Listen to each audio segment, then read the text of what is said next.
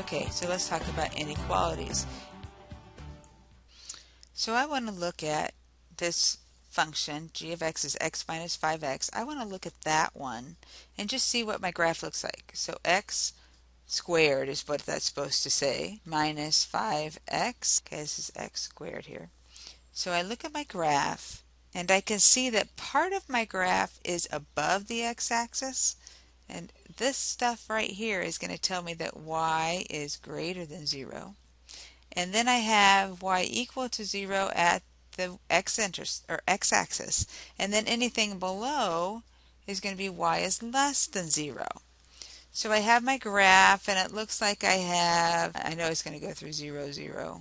Looks something like this. Well, you can see that this x-intercept right here and this x-intercept right here causes my graph to switch sides of the x-axis. Up here, from here over, my graph is above. And from here over, my graph is above. But in between the two, I have the graph that's below. So I have three sections, and the x-intercepts are equal to the boundaries, boundary points. So I really have an interval from negative infinity over here up to this, it looks like 0. And I have between 0 and this one, which is going to be 5. I'll just tell you what that is because we're just looking right now. And then I also have an interval from here over, which is from 5 to infinity. So graphically, when I'm looking at this, if I want g of x to be less than 0, that's going to be my red. My solution for x is less than 0, not equal to, is going to be from 0 to 5, but it can't include either one because my inequality won't allow it. Now, let's look at another one. And we, again, the graph can be very helpful, or we could also look at um, the table. We're going to do both.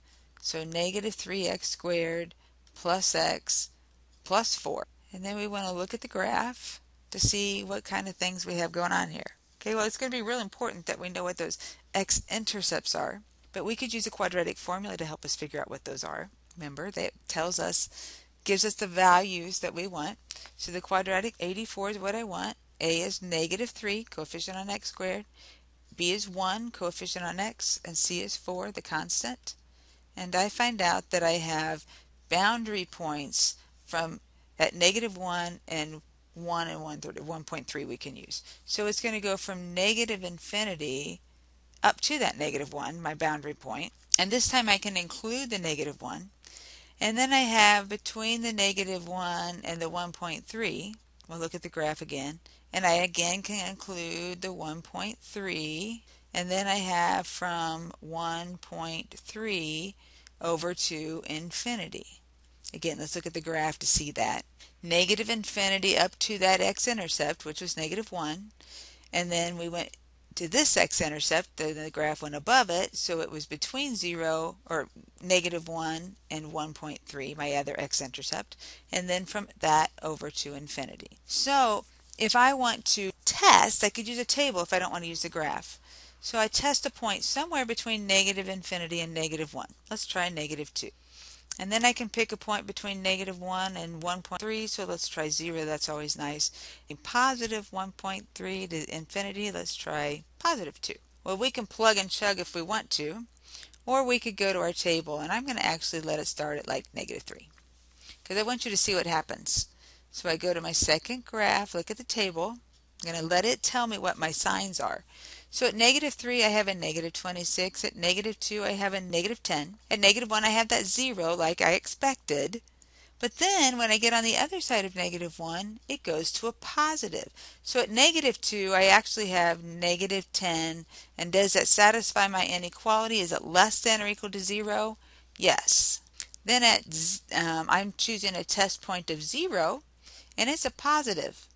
And it's a positive all the way looking in this table until I get up to a 2, but it's actually at 1.3.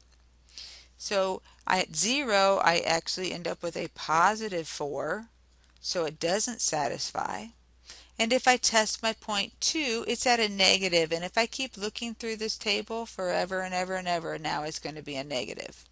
So I know that in that boundary area, it's a negative, and I forget what it was. It was a negative something, but yes, it satisfies. How do I write my answer?